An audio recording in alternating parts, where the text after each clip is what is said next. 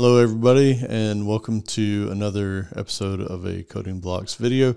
And this video, the idea was triggered based off some tips that Jay Z threw out in episode 225, where we were talking about things that worked for us in 2023 and things that we want to do more of in 2024 and all that.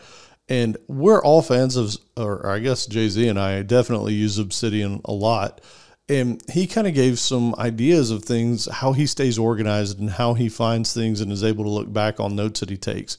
So i wanted to share those so that you could visually see what he had mentioned on the podcast because these are just great little tips to be able to get more functionality and usability out of this little tool which is fantastic. So if you haven't heard of obsidian before it's just it's a note taker type app that you can use Markdown in. So it's really quick to do shorthand type stuff. So if you don't have it, go to obsidian.md and then download it from there. It's a really small download. It comes in really quick. So, you know, it shouldn't be too bad to get up and rolling. Now, once you have it, when you install it, you're going to get a different screen than this. I'm impatient. I click the get started or quick start or whatever. And so it takes you to this screen, which is basically like, oh, well, here you go. So let me let me step you through just a couple of things so you have an idea of what's going on here. So this says Obsidian Vault. That may not mean anything to you if you're brand new to this. So if you click this thing right here to open open this vault window, you actually this is similar to what you get when you first install it. So create a new vault, open folder as vault, or open from Obsidian Sync. All a vault is is a folder where your files go. That's that's it. So you know, as long as you can correlate those two things in your mind, you'll be fine. In this case, it created me a default one when I did that quick start called Obsidian Vault in my documents folder. And I'll show you that. So if I go to documents, you'll see Obsidian Vault. So that's what it did by default because I clicked the quick start button. Now, what I'm going to do is maybe I don't want to put anything there. Maybe I want to have specific vaults for different types of things, right? So I'm a developer. Let's let's do a developer vault. So I'm going to do that. I'm going to say browse and I want to do it in my document. So let's hit select there and I'm going to create. All right, now it's going to automatically open it up. Now, what you probably may have seen real quick is it didn't close my other one. It kept them both open, right? So I'm going to close this one down. I don't really need it right now, but so they give you a little screen here and they give you this graph view. And I may or may not have seen this when this first happened. I'm really quick at just getting rid of stuff. like I'm, I like to just start working. So one of the things I want to show you, I want to show you a few things that Jay Z got started with or was telling us about on the podcast. So he mentioned that he likes to take notes every day. Like he'll have a new file every day. Well, lo and behold, they have a button for this. Open today's daily note. And when you do that, this actually does another one of his tips, which is always have a date in here that you're working on. And the reason is, at least for us developers, is we can sort of like remember, oh, I did that back in January, right? And so it's real easy to go back and, and skim through your notes from that period and say, okay, this is what I have, right? So that was one of his tips. And just by clicking that, it automatically opens that and does that. Well, Another tip that he gave that I didn't know that Obsidian did is linking or creating uh, tags for this type thing. So check this out. Let, let, me say that I did something like I did some sort of Mongo script, right? So maybe, uh, I don't know, let's call it Mongo config, right? I, I don't know, whatever. It Doesn't really matter. But now that I did that, he might want to, you might want to tag this with MongoDB right? And maybe you also want to tag it with, I don't know, scripts. And for whatever reason, this one didn't tag right. And I think it's because I'm not on a line that's by itself. So let me do pound DB here. So now I've actually introduced two tags into the Obsidian vault that it's now aware of, which is really cool. And let's say just for sake so that we have a little bit more data to work with, I'm going to create another one. I'm going to say Mongo stuff.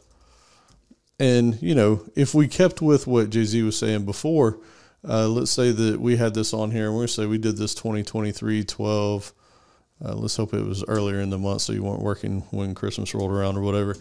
So you got Mongo stuff, right? And uh, let's say did some fantastic things in Mongo.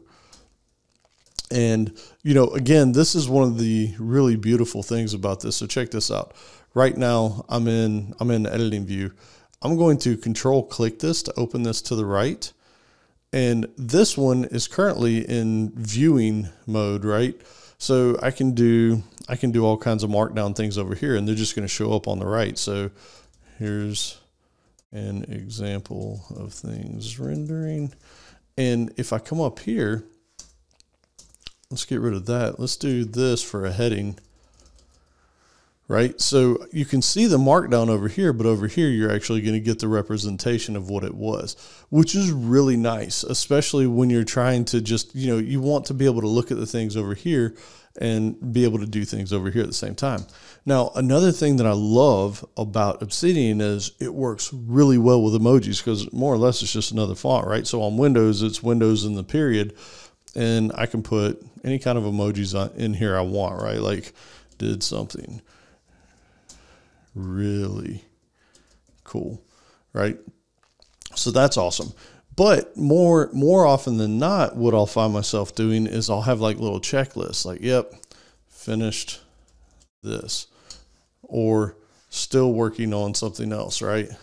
Or uh, another thing that I think I saw Joe Joe Zack do at one point is he had something that was like, you know, hey, this is important, need to get this done.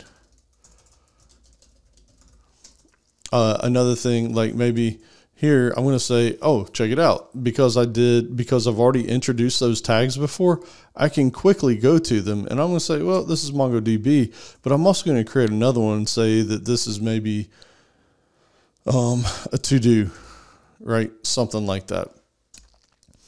And so now what you've got is you can come down here and click this and check it out. It automatically does a search for you for to dos. And I only have one document, but if I click on MongoDB, look, it shows me the two documents that I've tagged with this, which is absolutely fantastic. Now, to take it even a step further, there's that thing that I closed just a little while ago that's this graph view. And check this. So right now, it just kind of has all my documents laying around. But let's say that I want to view this a little bit different. Right now, it's showing me orphans. If I get rid of that, there's no orphans laying around, right? So these things aren't linked to anything on this graph right now. But if I do tags, check this out. Now I can see, okay, to-do's only linked to one document here. However, MongoDB is linked to both of these things. And if you click on them on here, again, it does a search for you so you can filter down and find these things super fast. So it's a way to be super efficient to be able to go back and find things, especially the fact that when you're in your notes and you do a hashtag or, or the pound sign, it automatically gives you a list of the things you've already done. So it helps you stay consistent while you're doing these things.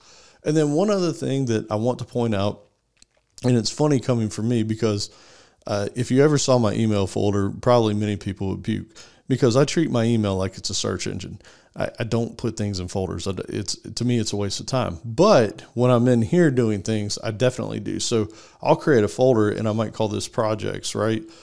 And for instance, I've got one right now that I'm working on a presentation, and it is data streaming and real time analytics.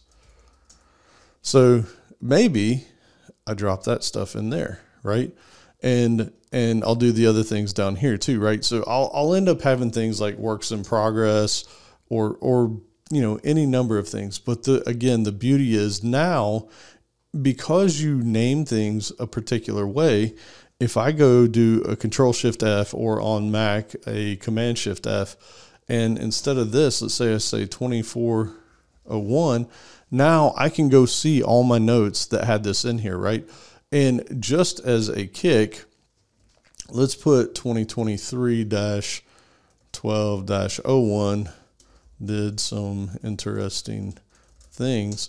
Now, a beautiful thing is, like he said, as he's working on something, he'll put the date on it of when he did it. So that if he needs to go back and find these later, he can do 2023 12 and check it out. So now I've got these three documents that show up. This one that was in the in the header, but this other one it's down in the notes so you can find these things, right? So if you want to organize your notes and organize your ideas in ways that allow you to quickly get back to them in the future, use these tags, use the dates, and you'll be able to do some things that are real nice.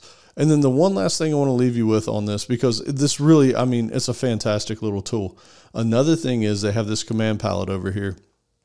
And I wanted to share this because you have things where you can pin things on here, right? Uh, not even completely sure what that does. I think it would just keep it open. But more or less, if you hit this command uh, this command palette button over here, which I think is also Control Shift P. I think it's the same thing as Visual Studio Code and a number of other editors out there. But you can actually look at the other things that this thing has available. Export to PDF sounds pretty nice. Uh, what else we got? Go to tab one, blah.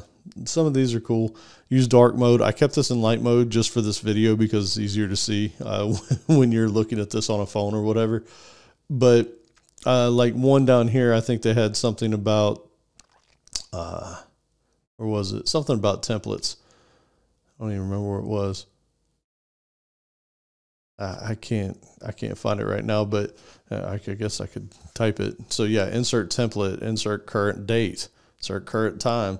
So there's all kinds of things in these command palettes that that you could probably learn how to do things even cooler than what I've already showed you, right? So, you know, definitely, definitely, definitely go take a look at at Obsidian if you haven't already. And I highly recommend using it as sort of like your daily task thing, like what you're working on, because it's a really nice place to go get these things. And what I do love about it is if you take this and you were to go, for whatever reason, and you were to go put this into something like, uh, I don't know if I have Word installed. I have WordPad installed. That's good enough. Uh, it usually formats better than that, but um, yeah.